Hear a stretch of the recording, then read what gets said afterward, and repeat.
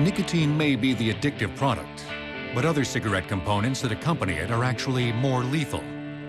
So what's inside a U.S. blended cigarette? Tobaccos, flue-cured, burley, and oriental, only make up about half the cigarette. The rest is known as add-ons. One add-on, reconstituted tobacco, is made from a mixture of stripped stems, offal, or tobacco dust, swept from the factory floor, and reclaim, cigarettes that have passed their prime and have been sent back to the factory. It all goes into a giant vat. It's beat up. And as it's being beat up, it's constantly extracted like a tea bag. Well, that means I removed all the, the chemicals, all the solubles, and then it's pooled into another vat. And this is a chemical reaction vat. The resulting solution is known as the mother liquor. So you have this mother liquor, which is an aqueous-based system, water-based system, in which now I can add a host of chemicals. Diammonium phosphate, urea, ammonium hydroxide. And these are these additives in the recon are used to deal with nicotine manipulation. The others is thought to use as ameliorants.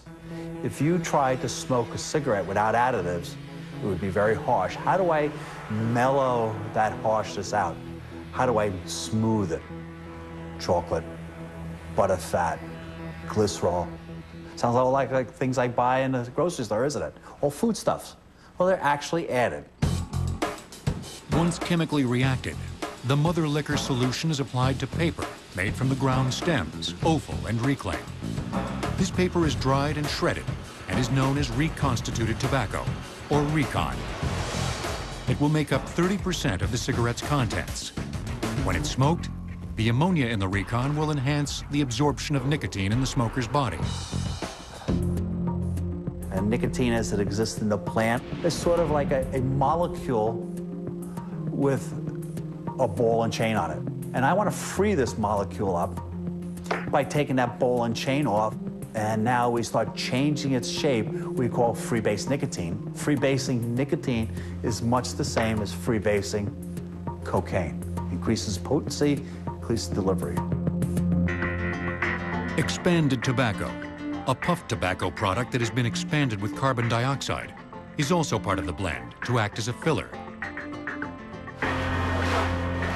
So, in a finished cigarette, 20% is expanded tobacco, stems, and reclaim, tobacco from returned cigarettes, and 30% is recon. The other 50% is tobacco, which is also treated with sugars that mask the bitter taste of nicotine and enhance its absorption into a smoker's body. Tobacco, stems, reconstituted, reclaim, and expanded tobacco are mixed in a bulking bin the size of a bus. It's all cut to 28th of an inch slices called rag and pneumatically moved to the cigarette fabrication side of the plant.